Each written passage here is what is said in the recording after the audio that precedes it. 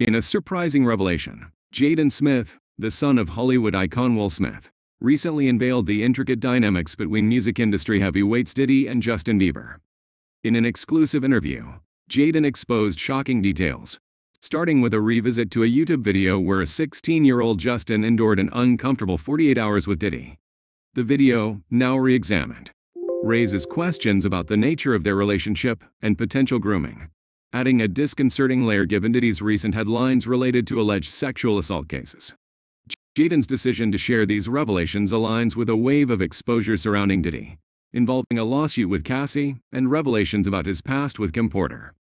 As the spotlight intensifies on Diddy, Jaden Usher, Diddy's ex-security team, and notorious figure Keith D join forces to expose Diddy for alleged grooming and exploitation in the music industry, with Justin Bieber and Usher among the victims. Their enduring friendship, highlighted through their hit song Never Say Never, emphasizes the need for awareness and change in an industry often overlooking the well-being of its young stars. Jaden Smith's decision to speak out adds another voice to the growing chorus demanding justice and transparency as the #MeToo movement gains momentum. Subscribe for more videos like this